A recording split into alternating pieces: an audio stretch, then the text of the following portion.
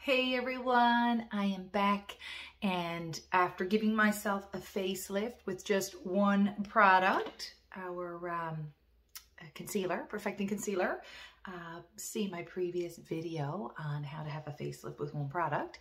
Uh, now I want to show the difference in, again, placement of your products. So we're going to talk about contouring and blush right now and we're going to uh, compare two different techniques. Again, remember, as I said, as we age, we need to change our placement of our makeup. We don't fully got to change our makeup because I mean, we love our makeup and we love our colors and our products.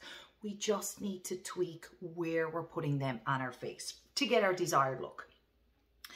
So let's take I have my palette here, my contour, my highlight, and my couple of cheek colors. I'm, I'm always mixing up my cheek colors, just depending on my mood and all of that.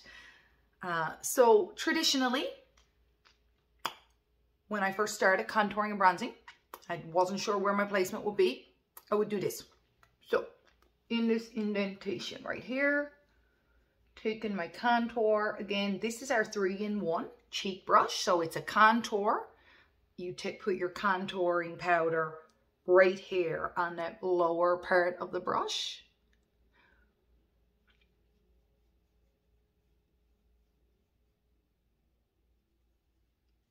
Okay, we'll contour like so.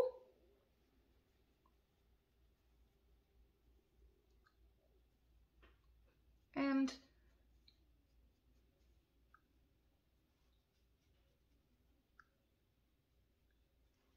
and a little to the side of the nose.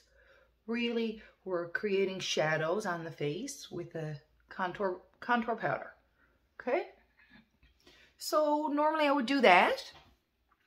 And then I would take my, the middle part of the brush, Arthur again, three and one, the middle is for blush. And I would take my blush, put it right here on the apple of my cheek, you know, that's, that's how I was taught to do blush, right there on the apple.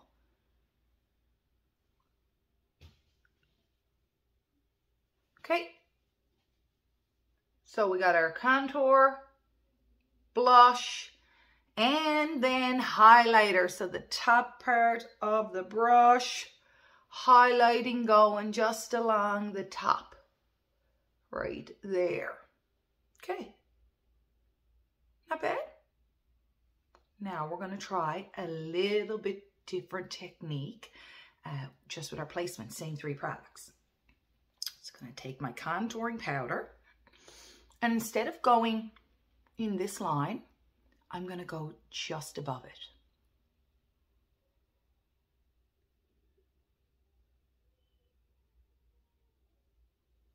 So I'm going higher. Starting up at the hairline just kind of working it down. Now, instantly, when you look at my face, which side looks more defined and lifted? This one, look at my cheekbone. Cheekbones up here, looks like a sculpting coming through here versus this where it almost looks messy. Everything's blended in the one spot. Now, this this was this was a great placement on me a while ago. A while ago. But now, okay, let's keep her going. So I'm just gonna give a little bit more effect so we can see it on the video here. Okay, so again, gonna continue on just with the, the top for consistency and a little bit and that little bit on the side of the nose there. So there we go. Now we're going to take cheek color. And instead of going here to the apple, gonna go up just a little bit above the contour. And not gonna come right down to where it was. Just gonna do this and pull up because we're looking for lift, right? Which side of my face looks more lifted. I still got a color. I still got I still got color to my cheeks, But look at the cleanness of this compared to over here. This is like a patch. Whereas this is definition, warmth, and gonna take my highlighting powder and bring it up higher again. And just barely, you know, just along the side of your eye and up. And then you can certainly highlight other areas of your face, wherever you want that light to show. But here we go. So I'm to try to just stay still and look in the mirror, look right in the camera, which side looks more defined and um, more lifted. So there you go, same three products, same brush, just a little alteration in our placement. We just brought everything up a little higher.